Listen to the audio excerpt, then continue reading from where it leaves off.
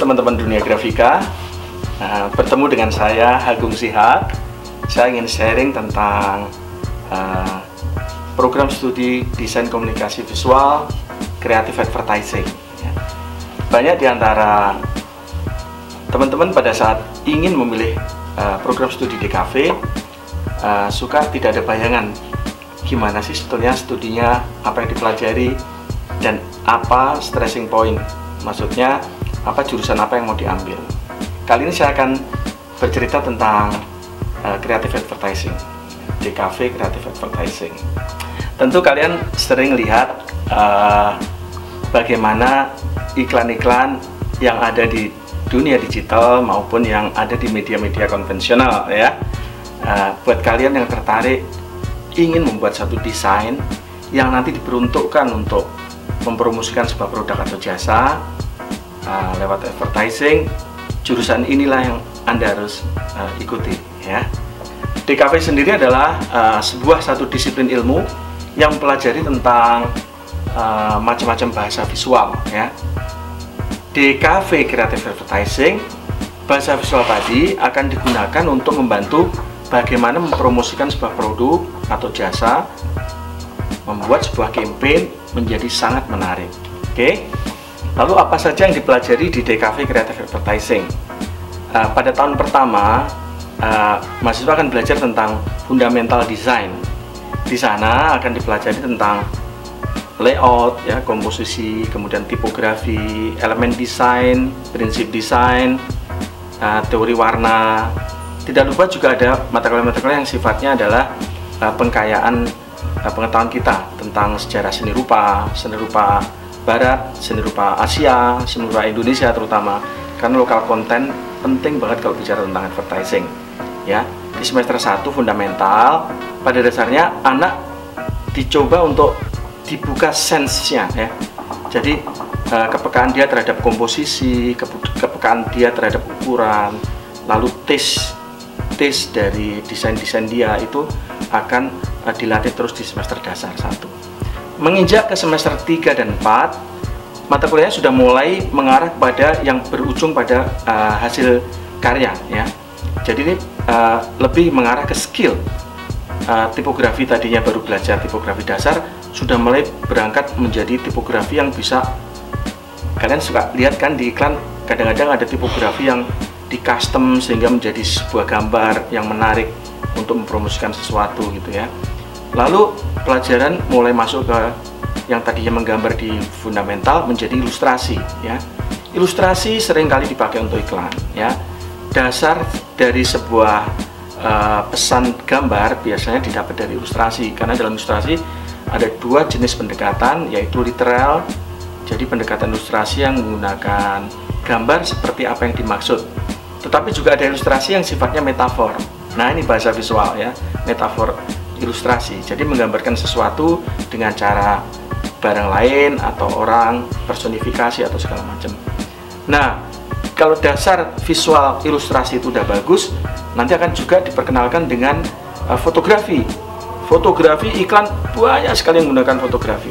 Apalagi platform sekarang ini sudah sosial media ya, itu semuanya berbasis fotografi, foto atau gambar bergerak atau video ya kalau fotografinya sudah dapat dan diasah dia temu menemukan uh, hal yang dia menemukan dirinya di sana karena fotografinya keren fundamental untuk membuat video sudah dia lalui.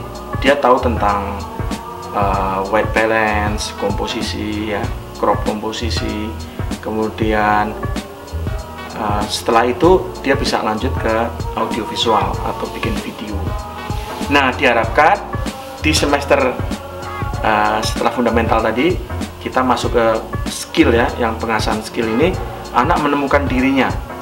Kalau dia kuat di ilustrasi bagus, kuat di fotografi keren, kuat di videografi top. Sekarang banyak banget dibutuhkan untuk itu.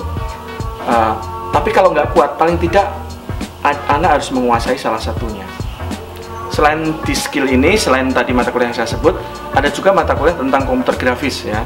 Mulai vector base sampai dengan pixel base sehingga dia bisa mengolah fotonya dia bisa mengolah ilustrasi yang menjadi digital dan di mix di, di, di digital menjadi karya yang keren menginjak ke semester berikutnya yakni semester tadi 34 yang semester 5 ini mata kuliah yang paling krusial di dalam creative advertising yaitu mahasiswa akan dibekali bagaimana membuat ide iklan ya. Ada mata kuliah ideation. Ini yang sangat fundamental. Kalau tekniknya udah dikuasai teknik visualisasi idenya apa? Di mata kuliah itu banyak sekali trik-trik menciptakan uh, ide-ide yang sangat menarik. Ideation pada dasarnya adalah bagaimana kita menceritakan sesuatu dengan cara yang sangat unik ya. Jadi produk biasa lewat mata kuliah ideation bisa muncul dengan penuturan yang sangat-sangat keren gitu ya.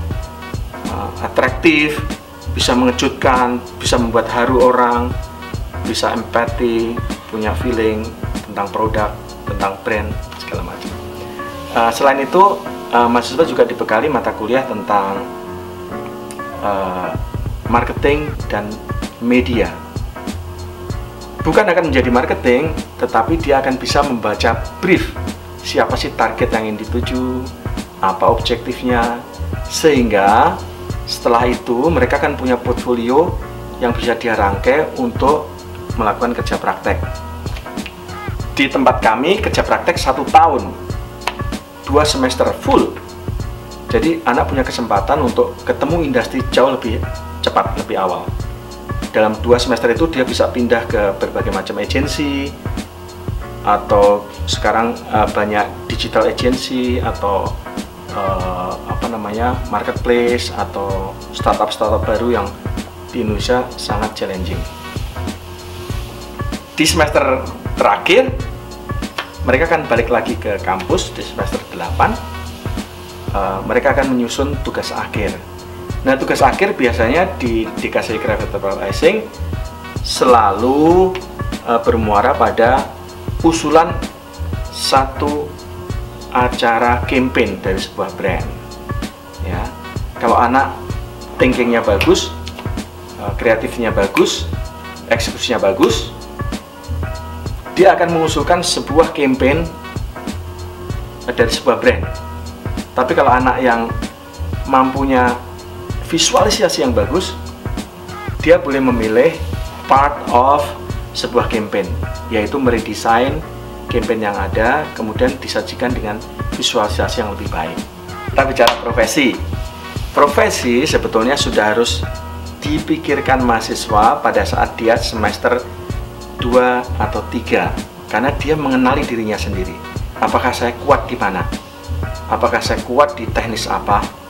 Lalu semester 4 dan 5 dia sudah bisa memproyeksi saya akan kerja praktek di mana itu akan mempengaruhi step dia bekerja eh, profesi nanti ke depan. Biasanya anak-anak akan coba dulu.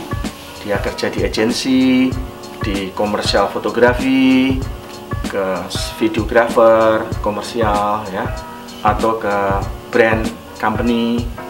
Di sana dia merasakan cocok nggak saya di di sini?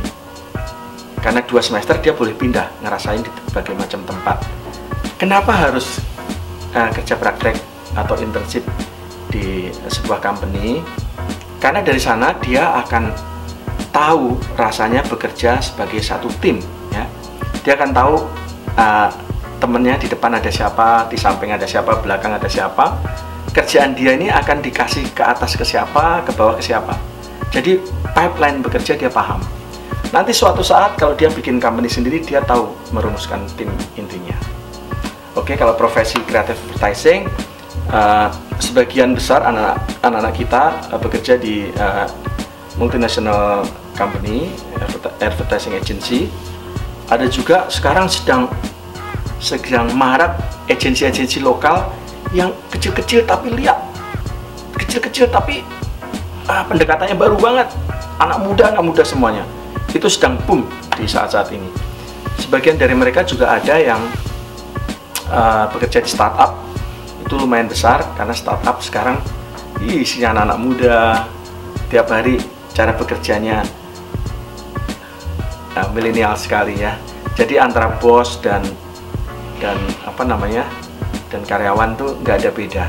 Bisa lu gue lempar-lemparan ide keren nah sebagian besar ada yang spesifik uh, lulusan kami ada yang menjadi fotografer profesional komersial dan setiap hari Instagramnya selalu project banyak sekali. Ada di antara mereka yang justru malah membuat uh, agensi sendiri dan bisa menarik adik-adik kelasnya untuk internship di sana kerja praktik di sana. Bahkan sebagian karena dia tahu tentang ilmu bagaimana mempromosikan sebuah produk di antara mereka ada yang membuat brand ya. Patungan bersama lalu bikin startup sendiri sehingga promosi awalnya dia tidak perlu keluar banyak biaya karena semua bisa ditangani sendiri. Jadi kalau anda memang hatinya mengarah pada desain dan desainnya itu akan diarahkan untuk mempromosikan brand sebuah produk atau jasa DKV Creative Advertising pilihannya